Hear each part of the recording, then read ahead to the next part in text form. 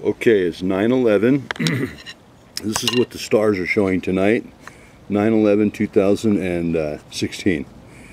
This is Aquila. It's in the west. If you back up a little bit, up in the, you'll see Cygnus right here.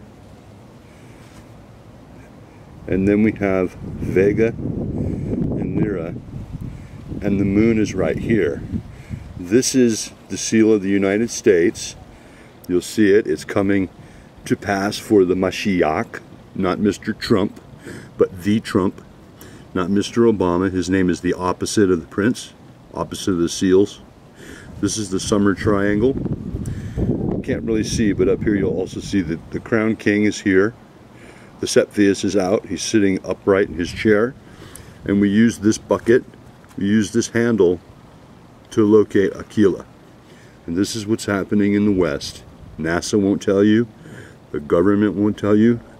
No government will tell you because they know that this person has that right because this is what's on the heraldry.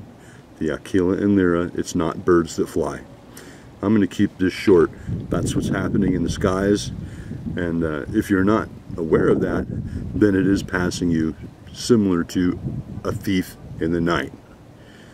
So uh, this is how we wake up because we have people who are walking in entitlements who are no longer endorsed by God.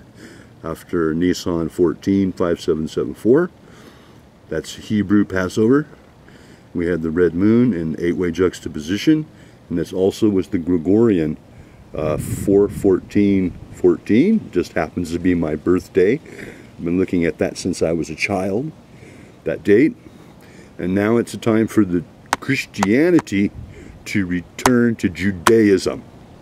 Amen. Have a good night.